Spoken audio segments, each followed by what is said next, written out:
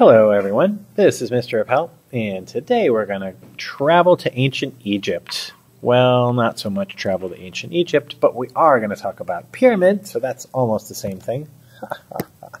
Such a funny guy. Okay, uh, a pyramid. Um, you probably know what a pyramid is, what it looks like, uh, but just want to define it clearly. So the pyramids you're used to seeing look like this one here, uh, which has a square base and then a bunch of triangular faces that all meet at one point up here at the top, which you might have guessed we call the vertex. You can you can see that here. Whoops.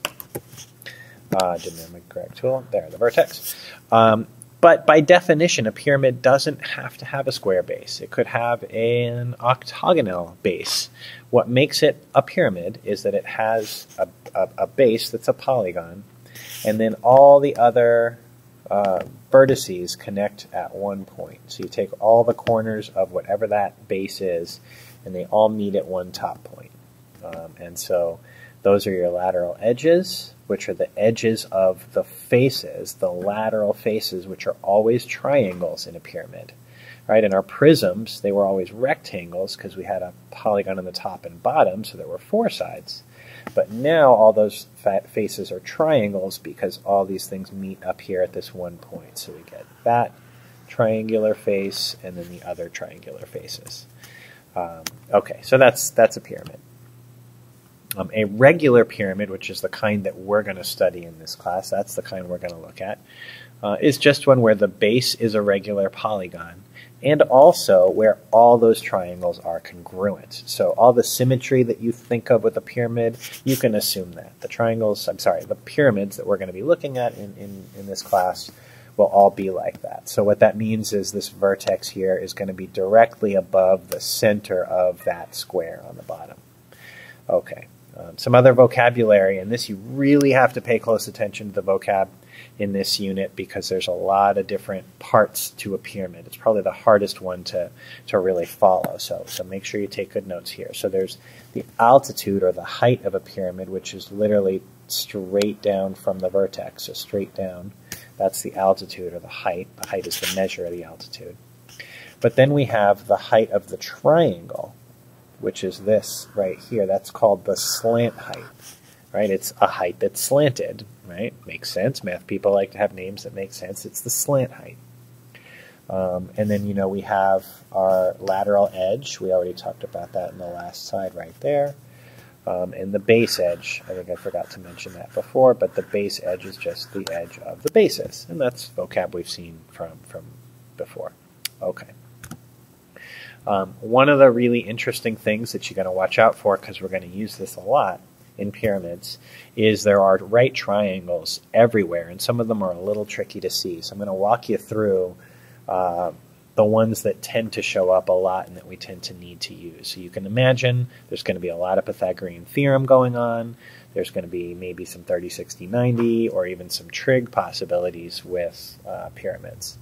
So the first right triangle that we're going to see is made up of the slant height. So I'm going to just sort of highlight one of them. There's a slant height. Half the base edge, so I mean this whole base edge is being split in half by that slant height in the triangle. So that's half the base edge. And then the lateral edge is the hypotenuse. So you see that is actually a right triangle because the slant height is an altitude in that face. It's an altitude of that right triangle. I'm sorry, of the triangular face. So if you picture PDC, that's P DC, that's that face that I'm working with there. If you drop the altitude down, it's going to be perpendicular, it's going to split both into congruent parts, all the things that we've seen before. Okay, so triangle PDR here is a right triangle with those two legs, and PD is the hypotenuse. Okay. Uh, the next right triangle we're going to look at is made up of the height. Now the height of the pyramid is the straight up and down again, so that's PQ. The apothem, remember that base is a regular polygon. It's a regular quadrilateral or a square, so the, it has an apothem. And then the slant height. So in this right triangle, notice the slant height is the hypotenuse. Okay. Then there's another one which is made up of the height, a radius of the square, which remember goes from that center to one of the vertices of the square, and then the lateral edge, which would be the hypotenuse in that right triangle. So that's another right triangle that shows up. And another one that shows up only because this is a square base, um, which is in the base, there's a radius, and there's a radius, and that's the hypotenuse. And this is actually, since those are both radii, this is actually an isosceles right triangle or a 45, 45, 90 triangle. Okay, so those are some of the right triangles that you need to be aware of in pyramids. Now let's look at our formulas. Um, again, trying to connect this back to, um, you know, what we did with with um, prisms. It was one half the perimeter of the base times the height, but now it's the slant height. So you see that the lateral area is just one half the perimeter of the base, so around the, the base, times the slant height. You'll notice we use kind of a script. L is usually what we use. Um, so usually that's the term that we use to represent slant height. So you should make sure you have that in your notes. Uh, just like everything else we've done, to find the total surface area, we take that lateral area, that we just found up here and add the area of the base, which in this case is a square, so that's a pretty straightforward calculation. If that base was a regular hexagon, then you might have to use some 30, 60, 90 or some other things to help you find the area. But we'll get to that later. And then volume, volume of a pyramid. Uh, and this one's not so intuitive. I could use some calculus to show you where that one-third comes from, but suffice it to say, it's the one-third the area of the base, which again is the area of that square, times the height. And again, for height, we're not talking slant height, we're talking the actual straight up and down height. So those are your formulas for lateral area, surf total area, and volume. You should have those written down so we can apply them to this. So let's take a look at this problem. Um, so I've got a pyramid. Uh, I'm given the lateral edge of 5 centimeters there. So in this one, that's PD there is 5 centimeters. The base edge of this whole thing here is 6. Um, so let's find, first of all, L, or the slant height. So the slant height, what we want to do is make a right triangle that I know two out of the three sides of, so I can find the slant height. So notice if I use this right triangle here, the slant height is there, that's one of the legs. And this is half of that base, so that's going to be 3 centimeters.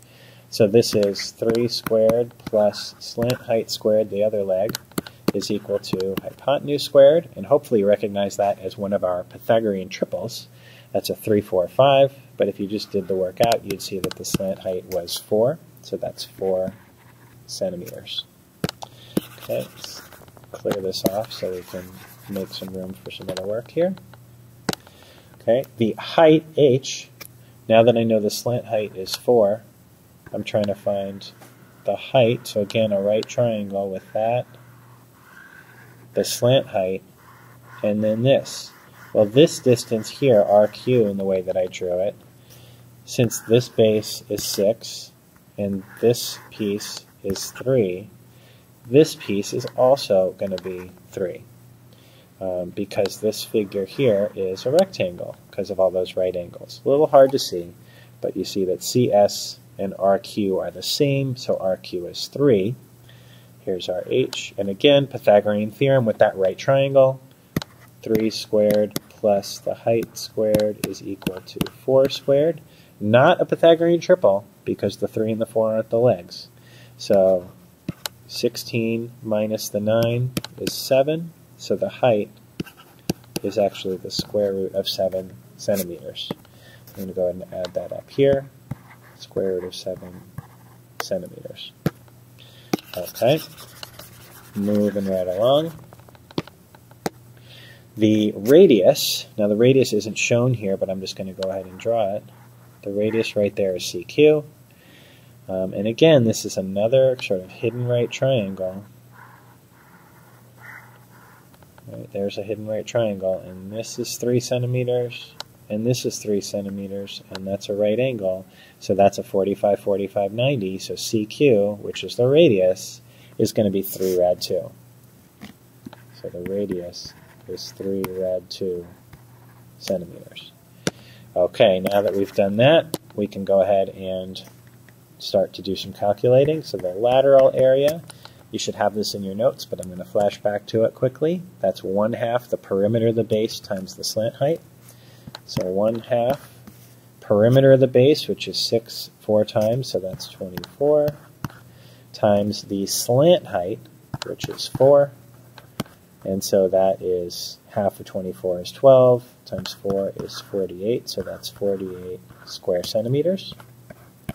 Then the total area is that 48 square centimeters plus the area of the base, which is 6 by 6, so that's 36 square centimeters, because that's just a square. So that's 84 square centimeters for the total area. And finally, the volume, which is, the formula is one-third area of the base times the height.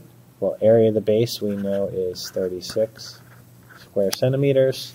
The height is rad 7 centimeters. So one third of 36 is 12.